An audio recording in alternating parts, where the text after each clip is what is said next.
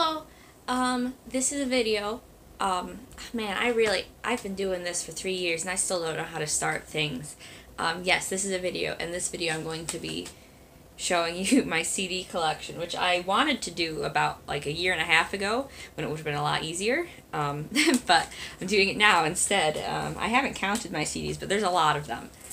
So I'm going to start with the first two and end with the most recent ones I got. Um, but in between that, it's like completely random the way they are stacked in my cupboard down here. It's not actually a cupboard, it's a bookshelf. Um, so the first ones I got, I got them on the same day, are The Black Parade by My Chemical Romance and Dookie by Green Day. Um, and these are, it seems like really common ones to be people's first CDs. Um, partially because when I got them, they were five dollars at Walmart. Uh, I was so excited, um, and also just because they're really iconic albums. Um, so yes, and that that started my CD collecting. and then Stomachaches by Frank Iero and the Cellabration. Um, I've done I did a video with this CD a while ago. I should probably delete that. It was probably really horrible, but you might notice um, it came from a public library. I bought it used on Amazon, um, and I'm pretty sure someone stole it from a library. um, this is one of my favorite albums in the world, and I love having it on CD, even if it's in rough shape and was stolen from a library. and then the next one is The Battle of Los Angeles by Rage Against the Machine. I'm so I was so blessed. I found this for 10 cents um, at St. Vincent's. I love this is one of my favorite albums too. So finding that was so exciting. This one, I got this for Christmas um, a couple years ago. It's Stories from Somewhere by PJ Liguori. Excuse me. Which it's it's a fun album of little story songs. It's really simple and I love them. It's it's very peaceful. Next one is I don't know how to speak French, um, Fall Out Boy, and I found this at a thrift store and I was like, should I get that? I've only listened to the album once and I can't remember it very well, but I got it because I knew I'd regret it if I didn't. And now I don't think this CD has left our car since because everyone in my family is like, we're going to listen to this C- CD like constantly, and we do, and we love it. so thanks, Fall Out Boy. I don't listen to Fall Out Boy very much if you couldn't tell. um, the next one is I don't know how, but they found me's EP. What the heck is it called? It doesn't say. Um, I can't remember what it. Oh, 1981 extended play. it wasn't written on the, the side or the front very big. Um, yes, I love this. It's oh, it's one of those the cardboard um, CD things, and I'm always worried that I'm going to break those, but I have a few of them. And also the CDs aren't in most of these because I have them in a, one of those case thingies. Next one is Green Day, American Idiot, which was also $5 at Walmart. and another really iconic album that lots of people have. Um, next one, I, I forgot, I put these in alphabetical order. Um, they're all jumbled up now, but so some of them are together. Next one's Green Day, International Super Hits, also from Walmart. um, and I love it, especially because this is before American Idiot. So, like, it it's all their songs that were famous before American Idiot, and the music that came after that created more popular songs. So there's some songs on here that definitely wouldn't be on a greatest hits album that they made now. Um, oh, I'm sorry, I sound gross. I'm not sick. I'm just sick. There's know, I'm not sick. I'm chronically ill. it's great. And the next one's Barriers by Frank Iero and the Future Violence. I got this. Um, I got this at their show because I saw them in June of last year. Um, I love it. This is such a great album. It's such a great album. I love it a lot. Uh, so I'm really glad I have it, and I'm really glad I went to that show. The next one, this is another one I, I found at that thrift store and wasn't sure if I should get, but I knew I'd regret it if I didn't. Um, and it's How Big, How Blue, How Beautiful by Florence and the Machine. Um, I still haven't listened to the full album, but there are some songs on here that I really love now, so I'm glad that I have it. The next one is pretty much another situation like that. Um, it's Echo and the Bunnymen. Um, someone wrote Brenda on the front, so I'm guessing Brenda owned it before, but she doesn't now. Um, so we have this. It's fun. This is a it's a really fun one to listen to in the background. Um, the Shirelles Super Hits. This was three dollars um, at a yard sale, which I don't I don't know. That's a lot for a yard sale, but I'm glad I got it. There's um the Shirelles, honestly, they cranked out nothing but hits all throughout their career. um, so I love this. Um, it's a fun one to listen to too, if you're me, um, and I am. I'm me. Um, next one is Revolver by the Beatles. It's another one of those cardboard ones, but it's more sturdy. Um, which obviously that's a great album, and I love the album cover too. It's it's really cool art, and it's one of my favorite Beatles albums. I think it's one of the ones that really got going, got changing their sound. So I think that's great.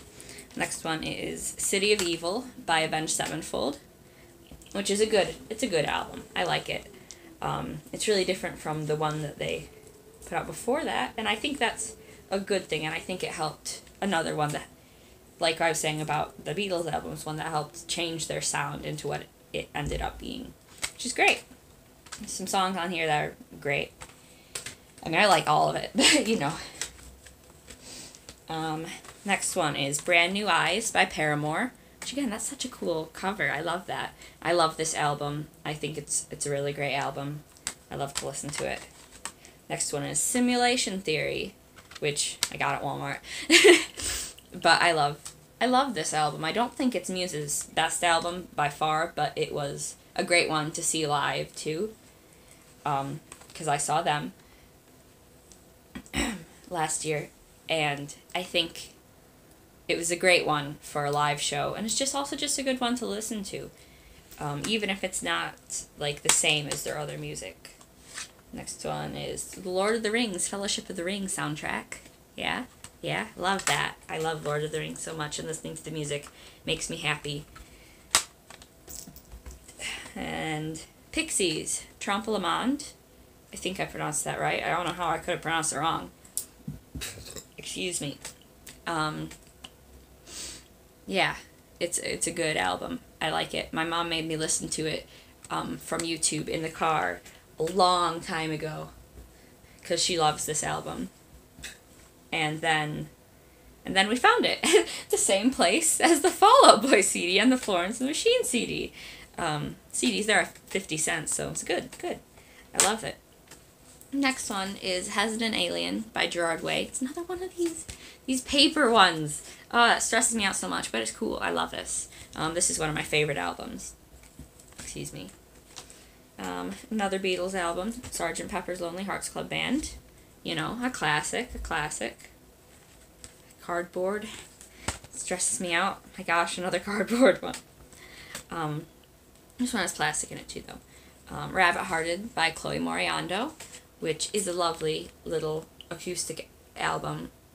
Um, and I got this at her show last December. Wow, that was kind of a long time ago. that was her first show that she ever played, and I went to it because it was in Michigan. She lives in Michigan. I live in Michigan. Hey. Um, so I went to it, and I got the CD. Um, next one is a David Bowie compilation album. It's a good mix of songs. Some compilation albums aren't good mixes of songs. this one is though. Um, David Bowie also he just made nothing but hits. Like honestly, every song about. So I love to listen to this one also because it's twenty songs, so I can listen to it for a long time. and then another Beatles album. I'm so sorry, I'm like this. Um, Magical Mystery Tour by the Beatles, which is my favorite Beatles album because it is just it's whimsical, by which I mean, what were they doing? I love it. I love it. Um, then I love this album. Um, Tonight the Stars Revolt by Powerman 5000. I stole this one from my mom because she got it. She's like, "Oh, I love I love this album." At a thrift store, we listened to it, and I'm like, "Oh, I love this album too. It's mine now."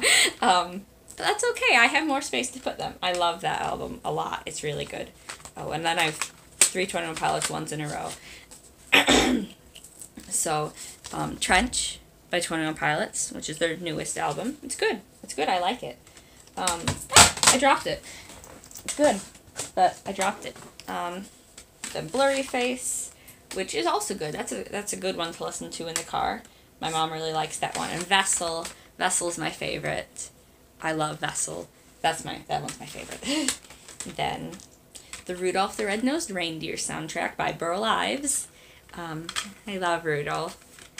Um, I, I love Rudolph a lot, and I love the songs.